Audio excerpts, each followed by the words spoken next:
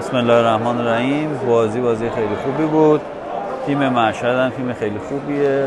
بازی هفته گذشتهش رو برده بود. با آمادگی اومده بود تو سالن برای بازی. ولی خب بچه های ما اشتباهات گذشتهشون رو تکرار نکردن. خیلی با روحیه با آمادگی بالا. بعد از اینکه یک هفته خوب تمرین کردن موز زحماتشون رو گرفتن.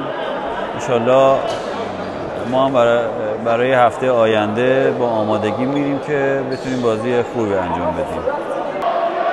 با توجه به اینکه دو تا بازی گذشته رو نتیجهش از دست داده بودن امروز خیلی با انگیزه والیبال بازی کردن از شرایط میزبانشون به نحو احسن استفاده کردن و روز بعد والیبالی تیم ما بود. متاسفانه تو همه فاکتورها ضعیف عمل کردیم. خب تیم ما تیم جوونیه. بازی اول لیگ هم هستش ولی میگم تیم طبیعت فوق العاده والیبال بازی کرد. من هفته گذشتم گفتم گفتم تیم طبیعت به لحاظ نفراتی بازیکنان خیلی خوبی داره. حالا دو تا بازی گذشته رو از دست داده بود ولی پتانسیل اینو دارن که توی رده های بالای جدول هم باشن. مخصوصا موقعی که امتیاز میزبانی هم دارن. بهشون تبریک میگم والیبال خوبی. خیلی ما تلاش کرده بودیم. البته که هفته های گذشته تلاش کرده بودیم ولی خب بنابر بعد شانسی ما می‌ذاریم اسمش متاسفانه.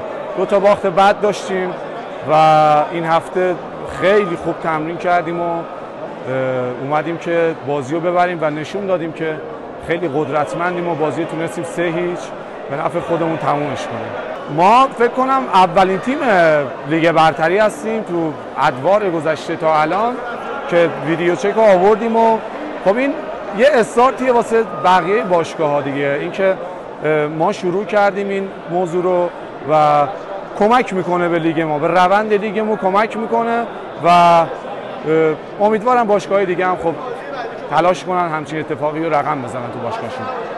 راستش بخوایم ما تو ست اول خیلی میشه گفت خوب ظاهر شدیم و تا اونجایی که تونستیم پای پای پیش رفتیم.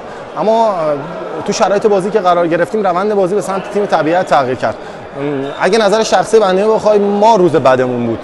و تو خیلی از عملکردهای والیبال نتونستیم خوب ظاهر شدیم و این باعث باخت ما شد. واقعا واقعا فکر نمی کنم خیلی کار بزرگی تیم طبیعت کرده باشن. تو خیلی از فاکتورها میشه گفت ما از ما بهتر شدن و این باعث شد که ما ست اول از دست بدیم. تو ست های بعد به مرور تیم طبیعت سوار بازی شد و ما بازی از دستمون در رفت به خصوص ست سوم که با اون اختلافی که انداخته بودن ما نمی‌تونستیم اونجوری که باید و شاهد و ظاهرشیم و این عامل اصلی باخت ما یه تشکر می‌کنم از کادر فنی که همیشه برای ما صد گذاشتن و امیدوارم که تو بازیهای بعد بتونیم جبران مکافات کنیم و دل مردم مشهد رو شاد کنیم.